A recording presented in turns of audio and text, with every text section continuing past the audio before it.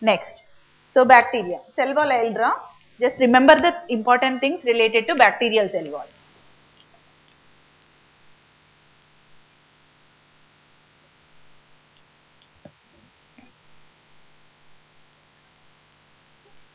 gram positive cell wall, gram negative cell wall.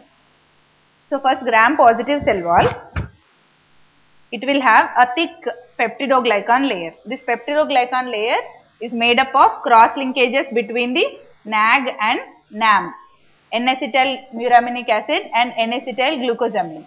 Okay. So in the peptidoglycan, you will be having lipoproteins and you will be having a teichoic acid component. This teichoic acid is again divided into wall teichoic acid and lipoteichoic acid. These are the two components. Okay. So, wall teichoic acid they are attached with peptidoglycan and cell membrane. This lipoteichoic acids are usually outside or uh, they will be present on the surface and these are the antigenic determinants of the gram positive cell wall. Okay. And the other component is teichuronic acid. This is rarely seen, but teichoic acid and teichuronic acid are the components of gram positive cell wall. Gram negative cell wall is a bit uh, tough. First, this is the cell membrane. So, in after cell membrane, you will be having thin sheets that is around 2 nanometer sheets of peptidoglycan layer. Okay. So, this is the cell membrane. This is the peptidoglycan layer and after this you will be having a special layer which is known as outer membrane layer. In outer membrane layer you will be having various proteins. These are known as outer membrane proteins. Okay, they will mediate the protein channel C, D, A like that they are having so many outer membrane proteins. Next our lipopolysaccharide uh, will be the component of outer membrane but it will be projecting onto the surface. Okay. Now the space between the cell membrane and outer membrane is known as periplasmic space. This is present in gram negative cell wall, not in gram positive. Okay. The space between outer membrane layer and cytoplasmic layer is the periplasmic space.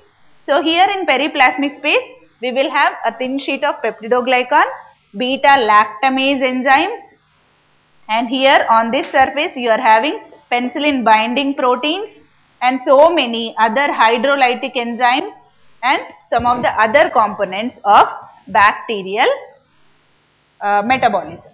Okay. So, this is known as periplasmic space which is present in gram negative bacteria but not in gram positive. And for acid fast bacteria we are having a special component mycolic acid. Okay. And for chlamydia and mycoplasma we are having a special component known as ergosterol. Usually in bacterial uh, cell wall or cell membrane we do not have sterols except chlamydia and mycoplasma where we are having ergosterol. Okay. So, this is about the cell wall. Thermophile bacteria are, there are three types.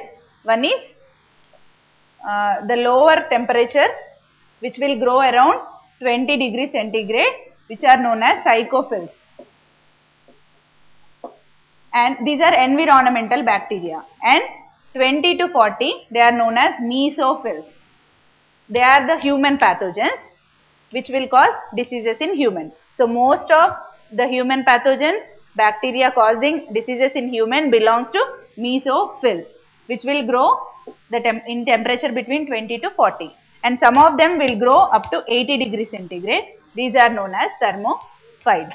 Example is, yesterday we were talking about so many spores, Bacillus stearothermophilus, Geobacillus, uh, Bacillus uh, subtilis, Geobacillus stearothermophilus, all these organisms are thermophiles. Psychrophils.